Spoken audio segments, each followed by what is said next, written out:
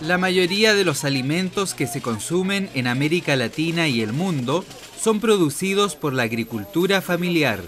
Para la FAO y los productores, el futuro de la seguridad y soberanía alimentaria del planeta dependen del reconocimiento de su importancia y de su apoyo mediante políticas públicas. Por ello, durante 2014, las Naciones Unidas celebrarán un año de reflexión en torno a las problemáticas y oportunidades que vive la agricultura familiar. El debate promete abordar temas relevantes como el impacto del alza de los alimentos en los presupuestos de los hogares, la nutrición y la salud, la concentración de la propiedad de la tierra o los transgénicos. Creemos que es momento, dada la coyuntura que hemos estado viviendo desde el 2007-2008 con la crisis alimentaria, es ya el momento de reposicionar a la agricultura familiar en el lugar que siempre le ha correspondido, contribuyendo, decíamos, con ese potencial que tiene para reducir pobreza rural, contribuyendo al incremento de la producción de alimentos, porque los próximos 30 años la demanda de alimentos va a aumentar en alrededor del 100%. ¿Cómo vamos a cubrir esa demanda cuando ya la agricultura empresarial hemos visto que el incremento en la productividad va cayendo cada vez más y más. Sin embargo, en la agricultura familiar tenemos unas brechas tecnológicas enormes, lo que nos permite aumentar, eso sí, de manera sostenible, la producción. La región de América Latina y el Caribe se prepara asumiendo su diversidad. Durante los días 30 y 31 de octubre, se llevó a cabo un encuentro regional en Santiago de Chile con la participación de representantes de 23 países, incluyendo sociedad civil y académicos. El concepto de agricultura familiar que se busca potenciar apunta a un cambio en el modelo de desarrollo que integre lo económico con lo social. Y finalmente, eh, a, partir de los años 2000, eh, se hizo una descubierta nuevamente de la agricultura familiar, pero obviamente se recuperó se, eh, muchas veces también eh, la idea de campesinado. Entonces, eh, este año de la agricultura familiar representa, creo que un poco también este rescate histórico de este, de este proceso de, de, de olvidamiento que hubo en los 80 y 90 de, estas categorías sociales. hemos venido hablando por años de de eh, economía campesina en algunos sectores, en otros sectores de pequeño productor agroalimentario, pero en la medida en que aparece el sentido del agricultor familiar como un concepto envolvente, un concepto incluyente del pequeño agricultor, el pequeño avicultor, el pequeño apicultor, el pequeño piscicultor, pesquero, hasta recoge el concepto del artesano, del pequeño artesano que, que trabaja con su con sus fibras, con sus materiales originarios de, la propia localidad. Para algunas de las islas del Caribe y otros países, el rol del mercado y de la demanda sigue siendo central en la definición de las políticas públicas orientadas a la producción agrícola. Entonces, ¿qué hemos aprendido a Perú? Hemos aprendido que se produce lo que se vende. Hay que producir lo que se vende, lo que tiene mercado y enfatizar, y me gustaría insistir en este tema y pedirte, Salomón, que sea un tema de, agenda en el futuro de la FAO, poder seguir discerniendo sobre el concepto de mercado para que no sea un tema ideológico, sino de economía, de concepto de, oferta, demanda, venta y realización. Si nosotros ponemos nuestro ojo en la exportación, estaremos logrando que los, nuestros propios eh, cohabitantes y compañeros tengan que pagar el doble de los alimentos o que tengan que comer quinoa todo el día. Entonces, esa es la visión que tenemos, por lo menos creo que lo que compartimos en la REAF y lo que hemos compartido en parte del grupo de hoy de la mañana es el mercado no nos puede ordenar. Hay que respetar la soberanía, decisional de los pueblos y de los productores para ver qué quieren producir y cómo producirlo. Ese era un poquito el comentario que quería hacer. Te quería contestar algo para no generalizar tanto, si me permite. Eh, Estás diciendo que solamente van a producir para la zona local en países que tenemos muy pocos habitantes como el Paraguay, que somos 6 millones y medio. Apenas uno produce, satura el mercado. Entonces tiene, el que quiere progresar en agricultura tiene que pensar en exportación, porque no tenemos gente que consuman esa, esa producción. El Paraguay, siendo un país pequeño, está produciendo para 65 millones de habitantes actualmente. Desde el mundo de los movimientos sociales, se enfatiza en cambio que la agricultura familiar tiene finalidades que no se basan en el lucro, como la defensa de una producción biodiversa que garantice una alimentación balanceada. Otro de los retos que plantea el debate es escuchar los conflictos en torno al uso de los recursos naturales que existe en América Latina.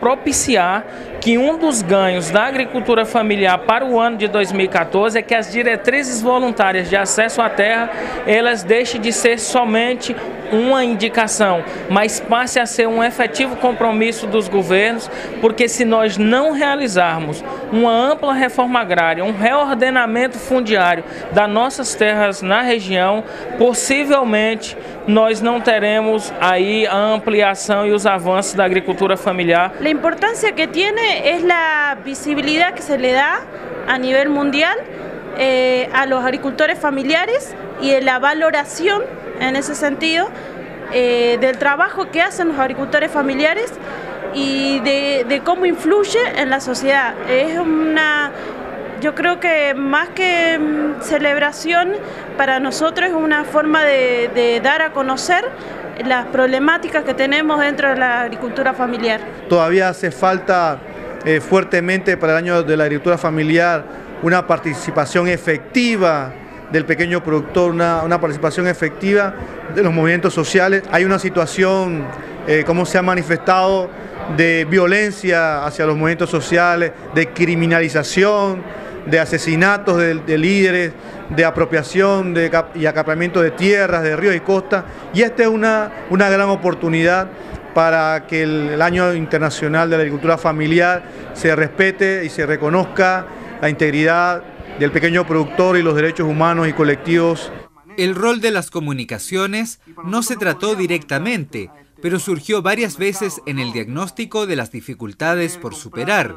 La circulación de la producción requiere que también los actores vinculados a la agricultura puedan tener acceso a los medios y transmitir sus valores y sentidos deberían ser reconocidos por las instituciones públicas, las instituciones privadas, para que eh, el desarrollo sea mucho más participativo. En ese sentido, aún eh, creo que es un reto trabajar enfoques de comunicación para el desarrollo desde los proyectos, el que los proyectos abran y se aperturen acciones de comunicación, pero acciones de comunicación horizontal, acciones de comunicación que puedan promover y dinamizar el diálogo y no tanto una comunicación desde los proyectos, desde las instituciones, sino una comunicación que pueda rescatar mecanismos de comunicación desde las comunidades y para las comunidades. Estamos en un proyecto de radio comunitario para la organización, en la cual eh, ya hemos elevado un proyecto con contenidos eh, para radio y audiovisual, digamos también para televisión.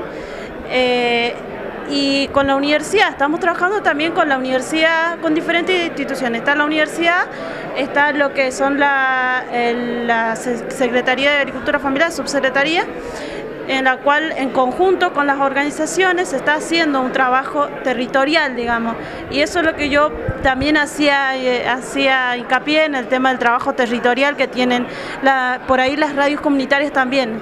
En los últimos 30 años, el medio rural en América Latina y Caribe ha sufrido una transformación dramática. Sin embargo, el incremento de la población urbana no ha menguado el carácter estratégico de la agricultura familiar. La contribución de la agricultura familiar contra el hambre y contra la pobreza rural es fundamental. ¿Por qué? porque hay un importante porcentaje de agricultores familiares que viven en la pobreza. Entonces, trabajar con agricultores familiares es trabajar contra la pobreza. Por lo mismo, dado que la pobreza y la inseguridad alimentaria son dos caras de la misma moneda, cuando nosotros fomentamos la agricultura familiar, también estamos contribuyendo a mejorar la seguridad alimentaria. Para futuros debates se buscará incluir a jóvenes y reconocer la importancia de las mujeres productoras. Porque seguimos teniendo un lenguaje muy sexista. Aquí no estamos hablando de los campesinos, de los productores, estamos hablando de los campesinos y las campesinas y las productoras. Este año tiene que dejar claro el rol importante que las mujeres hemos jugado y seguimos jugando en la producción de alimentos. ¿no? el rol económico que significamos para el sostenimiento de la agricultura familiar campesina. Entonces, esta lucha por la vida, por la preservación y la conservación de la vida, ha hecho que las mujeres tengan esa mayor capacidad para salir de estos, eh, estos pozos donde nos han querido sumergir el, poder económico y poder salir a fortalecer también los entramados sociales y las comunidades. Me impactó las, palabras del compañero de, Perú cuando decía de que el año internacional de la quinoa había hecho que los ingresos de los productores de quinoa se multiplicara por cinco, o el precio, algo así dijo. Yo decía, pucha, puede hacer que este año de la agricultura familiar nos haga incrementar también por cinco, pero no solamente la producción, que estaría bueno, sino también el empleo, que la agricultura familiar genera y genera mucho eh, también que genere, también aumente por cinco la cantidad de productores, digamos, ¿no? Para darnos más visibilidad y, y todo lo demás. Pero la agricultura familiar no es solamente producción, también es comunidad, digamos, ¿no? Entonces también me gustaría ver multiplicado por cinco la cohesión social de, de, nuestros pueblos, digamos, ¿no? El diálogo regional es el primero de una serie de encuentros que se llevarán a cabo en todo el mundo, organizados por la FAO el Foro Rural Mundial, la Alianza Cooperativa Internacional y la Organización Mundial de Agricultores. Los resultados se abordarán en el Diálogo Global del Año Internacional de la Agricultura Familiar, que se celebrará en Roma en 2014.